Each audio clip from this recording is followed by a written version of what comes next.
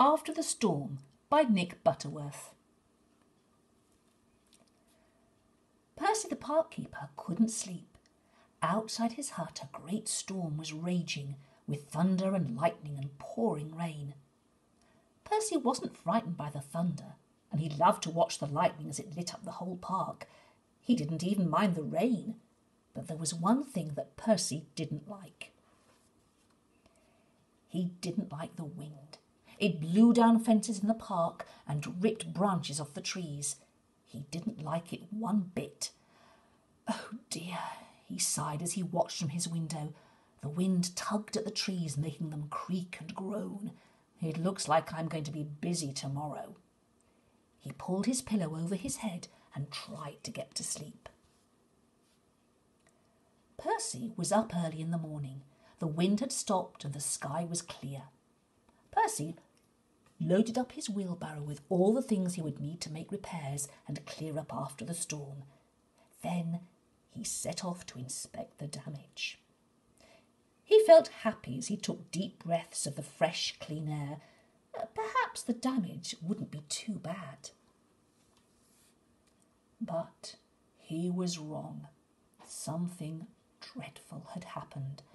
A great big oak tree that had stood by itself on top of a little hill had been blown over by the storm. The giant tree had been one of Percy's favourites. Now it looked very sad, lying on its side with its mass of tangly roots sticking up into the air. But it wasn't just one of Percy's favourite trees. Some of Percy's animal friends lived there. Now their homes were wrecked. Percy hurried up to the fallen tree.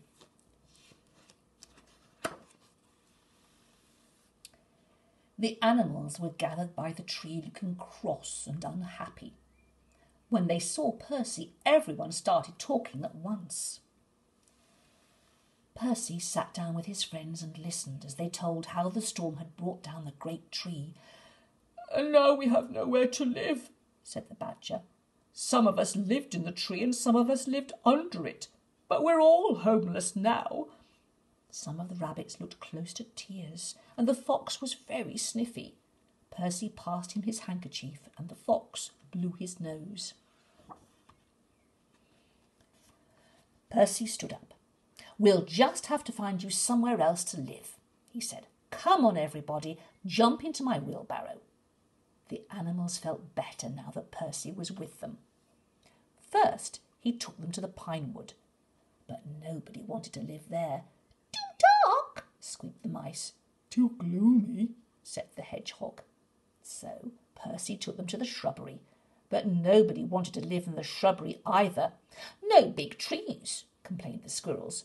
No big roots, moaned the rabbits. Never mind, said Percy. We'll try across the stream. Percy began to push the heavy wheelbarrow over a little bridge that crossed the stream as he got to the middle of the bridge, two things happened. Percy stumbled, and the wheelbarrow decided to see what it would be like to be a boat. Splash! Suddenly, Percy and his friends found themselves drifting downstream to where the stream opened out into a lake. Percy stood up and looked around. We'll have to paddle back to the shore, he said. But then something caught his eye. No, wait. Let's paddle across to the other side of the lake. I have an idea. The animals looked puzzled. What was Percy up to? Slowly they paddled the wheelbarrow across the lake. Here we are, said Percy. The squirrels jumped ashore and tied up the wheelbarrow to the roots of an enormous hollow tree that grew by the water's edge. Now, this is my plan, said Percy. Everyone gathered round as Percy explained his idea. Is everybody clear? Everybody nodded. Then let's get to work. They began by unloading all Percy's tools and the planks of wood from the wheelbarrow. Then Percy explained exactly what he wanted each one to do. He showed the badger how to use a saw, and he showed the squirrels how to knock in nails. The fox drilled holes and the rabbit screwed in screws. The mice were kept busy fetching and carrying for everyone else.